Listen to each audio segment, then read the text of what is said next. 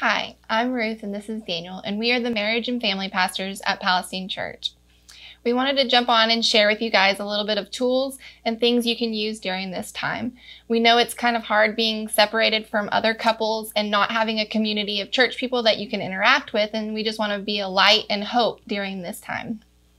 Yeah, over the next couple weeks, and even more than that, we want to take time on Monday nights and uh, just bring some just marriage highlights from the week or even from the month, uh, different stories from either the uh, pastors or the fathers, somebody inside of our life uh, that we can come and glean from and take different tools from. And so we want to bring that to you because it can be difficult, either not just in quarantine for your marriage, but any other time inside of your marriage with uh, from job to finances to children, anything that you can think of uh, can bring stresses on it and can cause disconnection and all the things that we experience inside of our marriage. And so what we want to do is tonight really kick off uh, the whole thing with marriage. We keep laughing because we've done like 50 takes on this.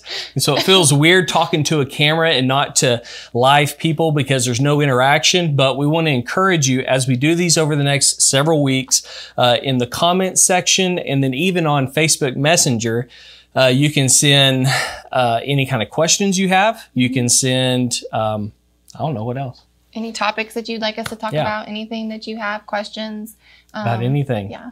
Not nothing about murder. We don't we don't answer questions on how to murder your spouse. Uh, it wouldn't be good.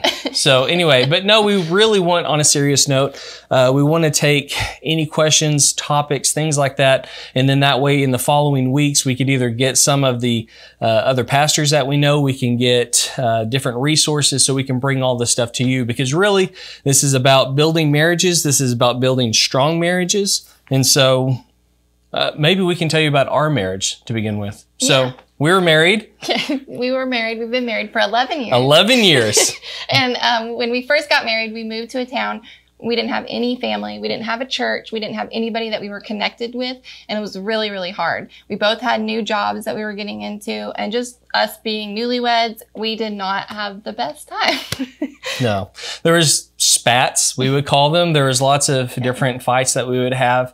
Uh, but like Ruth said, we didn't have um, really a community of friends. We didn't have uh, people, moms or dads, uh, spiritual moms and dads feeding into our lives. And so what we we're really doing is kind of pushed out into the open ocean and we're trying to navigate uh, choppy waters just yeah. by ourselves. And so there are things uh, that we've learned as we've come along. We don't have everything figured out, no. not by far. Ruth has a lot of work to do, but listen, I think I got it figured out. But um, no. no, we have uh, a lot of things that we want to share with you, whether it's from child uh, raising up our children to uh, just different things from date nights and all this other stuff. Uh, because what we really see is that marriages are so needed in our communities today, in our cities today, and, and really uh, strong marriages are needed in our churches. And it's just because the dynamic and the, the power that a strong marriage brings, it's, it's like no other.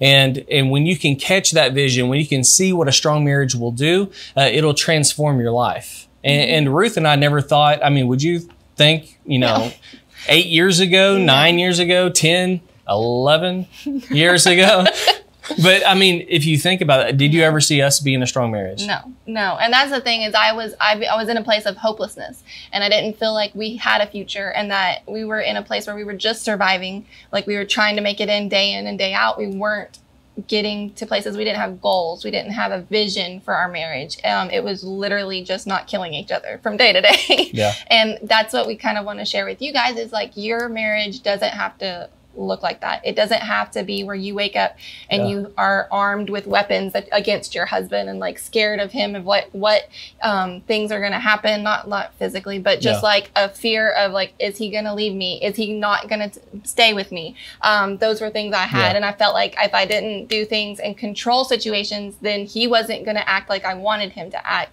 And it all came down to me breaking that and letting him have the reins of our marriage like he's supposed to, like God designed it um, and and and surrendering that over and and be, being having faith that he is going to make the right, right, right decisions and even if he doesn't that i'm still going to support him yeah. and be his biggest supporter yeah and see mm, a lot of the things that we come against inside of our marriage, a lot of it has to do with fear. A lot of it has to do with the the unknown because as she's having these fears, as she's having these anxieties about uh, you know, not giving up control or what all, all these other things are, then I'm having these fears of, am I a good enough husband? Am I doing everything I'm supposed to be? Like there's some textbook or something that I'm supposed to be following along that I'm supposed to do the exact perfect thing. And, and really when you go to the word of God, and that's what we're going to do in these coming weeks, when you start looking at what a marriage is supposed to look like, and when you start looking at uh, how powerful a marriage can be inside of your community, inside of your family, it'll absolutely rock your world because we've seen personally we've seen marriages that have been thriving and we've seen marriages that were just barely surviving or not surviving at all. Mm-hmm. and and the difference between the two even the marriages that have spoken inside of our lives uh, one of the best ones we we have some dear friends of ours the uh, edwards sean and kathy edwards that spoke life into us. And it was amazing. I remember kathy right before uh, we had got married and she gave us this example of uh, a team. And she said that sometimes when her and, and sean get in a spat or whatever you know i'm not throwing them under the bus but when they uh, have this vision they said that we would take helmets almost and put them on and say that we're on the same team. And it wouldn't make any sense if you're on a football team to throw the ball to the other players but we do that sometimes anyway. We throw it to the enemy, or we throw it to the busyness of life, and we give all of our attention to those things instead of coming together as a couple and saying, you know what, we're on the same team here.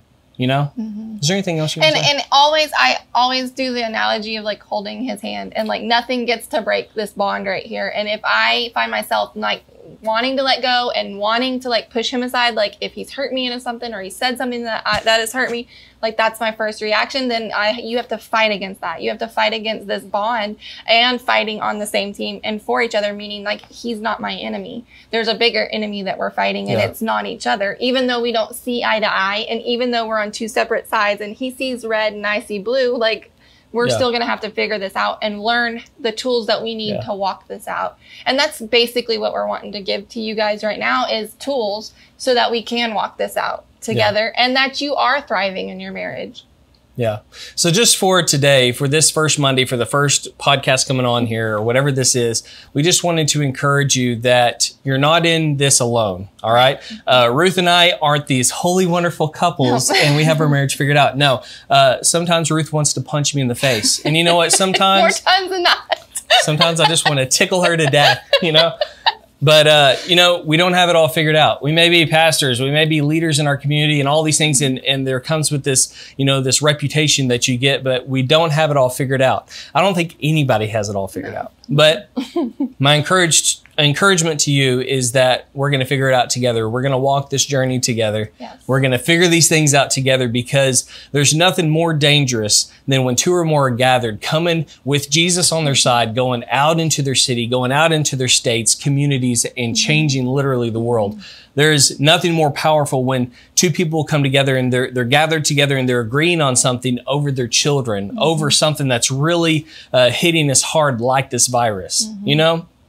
I just think it's an awesome picture. And what we want to do every week without fail, it doesn't matter what we're doing, we want to make sure that we bring on these videos a growth moment. Mm-hmm. And the reason we want to grow is because if you're not growing, you're shrinking back. And I've said this analogy several times that we want to lean into God and the things that He's doing. And so this moment, this week, I want to bring a growth moment. We're going to focus on two things. Mm-hmm. All right. So the first thing is this is that this week we want to encourage everybody that's listening to this get with your spouse, take some time this week, and you want to come up with what are we doing? What is the vision inside of our life like? What what is our our purpose for being here? What is the purpose for our marriage? Mm-hmm. Like why are we doing this? Do you want to just survive? Do you just want to make it the next, you know, 5 years, 10 years, 50 years and then just kill over and you didn't make a difference in anybody's life mm-hmm. or do you want to come up with the vision and do you want to say, you know what, our marriage is going to go forward in this? This is what we're here for. This is what we want to do.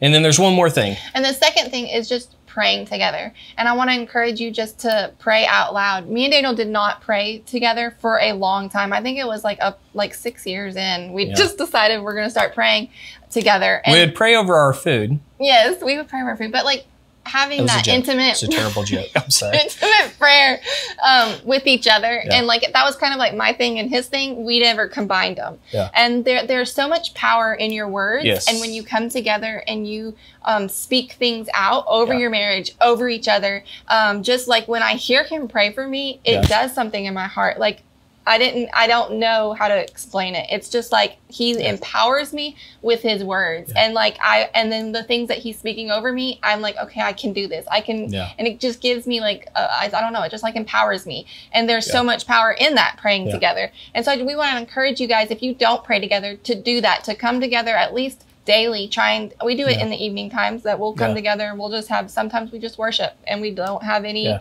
um, any other distractions. We put our phones away and it's just us dedicating this time to god and doing that together. And um, pray over your family. Pray as a family. We always bring our kids in and we'll have them pray together with us on things. And it's so encouraging to hear their their point of view in things and the words that they have to say even though they're young. So. Yeah well, let me pray over you right now before we get out of here. So, just the two things again Find vision for your marriage, talk with your spouse, see where you're going inside of your marriage the next 5, 10, 20, 50 years, 100 years in your marriage. And the second thing is pray with your family this week. Really set aside time, pray with your spouse. If you have children, pray with your children and begin to seek God over their lives and speak blessing over their life. So, Father, we just thank you for these powerful marriages that we have. And God, we just thank you for what you're going to do through them. God, I thank you that they're going to transform cities and transform cultures in Jesus' name. Amen. Amen.